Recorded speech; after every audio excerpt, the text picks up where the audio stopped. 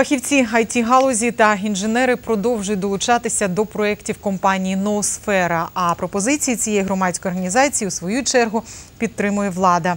Вона в них напряму зацікавлена.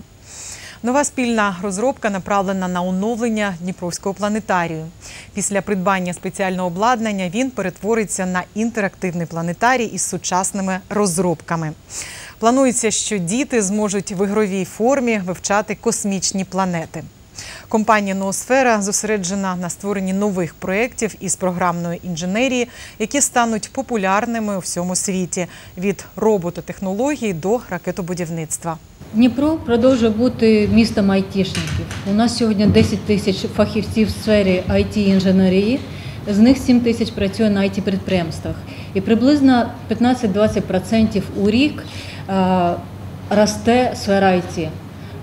У нас приблизно тисячу випускників, випускників. Це означає, що з наших вузів виходить кожного року тисячу айтішників, з яких велика частина все ж таки залишається у місті.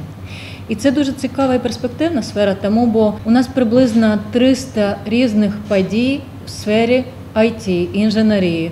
В минулому році було приблизно 300. Це дуже багато. Мы уже просчитали экономику, мы посчитали, какое оборудование туда завести. Это действительно будет новый интерактивный планетарий э, ну, другого формата с элементами экспериментариями, когда дети будут принимать участие вот в самих вот этих презентациях, смогут э, в игровой форме изучать другие планеты, миры и в то пространство, которое нас окружает.